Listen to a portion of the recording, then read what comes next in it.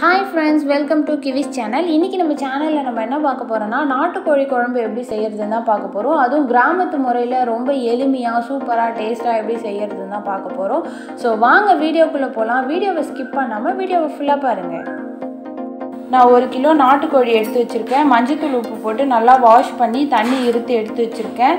இது கிராமத்துலேருந்து வாங்கிட்டு வந்தோம். அங்கே மஞ்சத்தூள் நல்லா தடவி கறியை சுட்டு கொடுப்பாங்க. அந்த மாதிரி இருக்கிறப்ப டேஸ்ட்டு ரொம்ப நல்லா இருக்கும். தெரியும். கறி வந்து நல்லா சுட்டு கொடுத்த கறி இது. இந்த மாதிரி சாப்பிடும்போது டேஸ்ட்டு நல்லாயிருக்கும் கவுச்ச ஸ்மெல்லும் நமக்கு வராது. நீங்கள் ஒரு வாட்டி இந்த மாதிரி சுட்டு ட்ரை பண்ணி பாருங்கள் நல்லாயிருக்கும் இது எப்படி செய்யறதுன்னு நம்ம வீடியோக்குள்ளே பார்க்கலாம். ஊற்றிக்கலாம் இதுக்கு வந்து நல்லெண்ணெய் ஊற்றினா ரொம்ப டேஸ்ட்டாக இருக்கும் நாட்டுக்கோழிக்கு. நீங்கள் நல்லெண்ணெய் ஊற்றிக்கோங்க நாட்டுக்கோழிக்கு நல்லெண்ணெய் போட்டால் ரொம்ப நல்லாயிருக்கும் எண்ணெய் காஞ்ச பிறகு நம்ம பட்டை லவங்கம் கிராம்பு அன்னாச்சிப்பூ பிரியாணி இலை இதெல்லாம் போட்டுக்கலாம். நாட்டுக்கோழிக்கு வந்து நீங்கள் கொஞ்சமாக எண்ணெய் போட்டுக்கிட்டால் போதும். ஏன்னா வந்து நாட்டுக்கோழியில் வந்து நிறைய கொழுப்பு இருக்குது ஒரு கிலோ கறிக்கு வந்து நாலு பெரிய வெங்காயம் ஒரு மீடியம் சைஸில் ரெண்டு தக்காளி மூணு பச்சை மிளகா இப்போ வெங்காயம் நல்லா வதங்கின பிறகு நம்ம பச்சை மிளகா போட்டுக்கலாம். மூணு டேபிள் ஸ்பூன் இஞ்சி பூண்டு விழுது சேர்த்துக்கலாம். நறுக்குன ரெண்டு தக்காளி சேர்த்துக்கலாம்.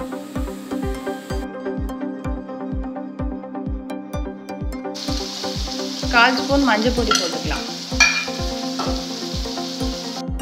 நம்ம போட்ட வெங்காயம் தக்காளி இஞ்சி பூண்டு பேஸ்ட் எல்லாமே நல்லா உறவு சேர்ந்துருச்சு. இப்போ வந்து நம்ம நாட்டுக்கோழி போட்டுக்கலாம். நிறைய பேர் வந்து மிளகா பொடி போட்டுட்டு அதுக்கப்புறமா கறி போடுவாங்க. நம்ம போ கறியை போட்டுட்டு அதுக்கப்புறமா மிளகா பொடி போட்டோன்னா டேஸ்ட் நல்லாயிருக்கும் அந்த இஞ்சி பூண்டு விழுதெல்லாம் அந்த கறியில் வந்து சாறு இறங்கும் போது நல்லா டேஸ்ட் கொடுக்கும்.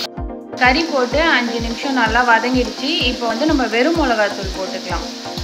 வெறும் மிளகாத்தூள் ரெண்டு ஸ்பூன் போட்டுக்கலாம். அப்புறம் நம்ம வீட்டிலே அரைச்சி வச்சுருந்த குழம்பு பொடி போட்டுக்கலாம்.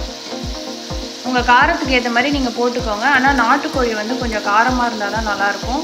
நான் வந்து நாலு டேபிள் ஸ்பூன் வீட்டில் அரைச்ச குழம்பு பொடி போட்டுக்கிறேன். வெறும் மிளகாத்தூள் ரெண்டு ஸ்பூன் போட்டுக்கிறேன். தேவையான அளவு உப்பு போட்டுக்கலாம்.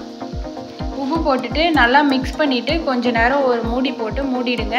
ஒரு ஃபைவ் மினிட்ஸ் நல்லா உறவு சேர்ந்த பிறகு பார்ப்போம்.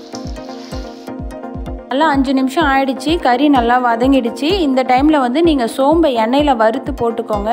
நீங்கள் ஆரம்பத்திலே பார்த்துருந்தீங்கன்னா தெரியும் நான் முதல்ல வதக்கும் போது சோம்பு போடலை.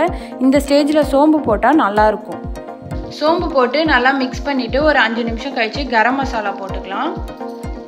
கரம் மசாலா வந்து இது நாங்கள் வீட்டிலே ரெடி பண்ணோம். கறி குழம்புக்கு இந்த மாதிரி கிரேவி ஐட்டம்ஸ்க்கெலாம் செய்யலான்னு சொல்லிட்டு நான் அதை நெக்ஸ்ட் வீடியோவில் எப்படி பண்ணுறது அப்படின்னு சொல்கிறேன் இது கொஞ்சம் ஸ்பைஸியாக இருக்கும். அதனால் ஒரு டேபிள் ஸ்பூன் இல்லை ஒன்றரை டேபிள் ஸ்பூன் போட்டால் போதும். நான் இப்போ தண்ணி ஊற்றிக்கிறேன் நான் அரை லிட்டர் தண்ணி ஊற்றுறேன் எனக்கு வந்து கிரேவி மாதிரி வேணுன்றதுனால நான் அரை லிட்டர் தண்ணி ஊற்றுறேன் உங்களுக்கு வந்து குழம்பு மாதிரி வேணும்னா நீங்கள் ஒரு லிட்டர் ஊற்றிக்கலாம் நான் ரொம்ப செமி கிரேவியாகவும் இல்லாமல் குழம்பும் இல்லாமல் மீடியமாக கிரேவி மாதிரி வைக்கிறேன். அதனால் நான் அரை லிட்டர் வாட்டர் போட்டுக்கிறேன். தண்ணி ஊற்றிட்டேன் இப்போ வந்து கிரேவி இந்த மாதிரி தான் இருக்குது இந்த டைமில் வந்து காரம் உப்புலாம் செக் பண்ணிக்கோங்க. காரம் உப்பு பார்த்துட்டு ஒரு மூடி போட்டு மூடிட்டு ஒரு ஃபிஃப்டீன் மினிட்ஸ் கழித்து பார்ப்போம். பதினஞ்சு நிமிஷம் ஆயிடுச்சு. நம்மளோட கறி நல்லா வெந்துருச்சு. எண்ணெய் திரண்டு வந்திருக்கு. நம்ம ஃபைனலாக வந்து கொத்தமல்லி போட்டுக்கலாம். நம்மளோட நாட்டுக்கோழி குழம்பு ரெடி ஆயிடுச்சு. நீங்களும் வீட்டில் ட்ரை பண்ணி பாருங்கள் நல்லா இருந்தால் கமெண்ட் பாக்ஸில் கமெண்ட் பண்ணுங்கள் மறக்காமல் கிவிஸ் சேனலை லைக் பண்ணுங்கள் ஷேர் பண்ணுங்கள் கமெண்ட் பண்ணுங்கள் அண்ட் சப்ஸ்கிரைப் பண்ணிடுங்க. பாய் பாய்